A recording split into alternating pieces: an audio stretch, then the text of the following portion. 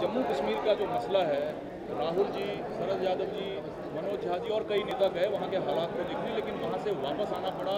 Airport से आगे जम्मू घाटी में ये सभी नेता नहीं जा पाए। क्या ये दुर्भाग्य नहीं कहेंगे? वहाँ के राज्यपाल राहुल जी को इनवाइट करते हैं कि मैं जहाज़ भेजता हूँ, आप आके देख लीजिए, यहाँ स्थिति सामान्य है। तो सामान्य तो देखने क्यों नहीं दिया गया? क्या छुपाना चाहते हैं? कहते हैं कि स्थिति बहुत सामान्य होती जा रही है तो लोगों को बेच खोलो। उनको जो गिरफ़्तार किए गए उनको छोड़ो।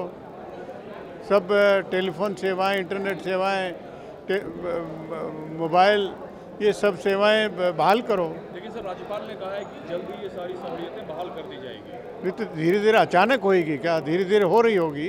उन्होंने तो ये भी कहा था कि हमको अकेले ले चलिए। अगर इकट्ठे नहीं जहाँ आप चाहते हो वहाँ ले चलिए।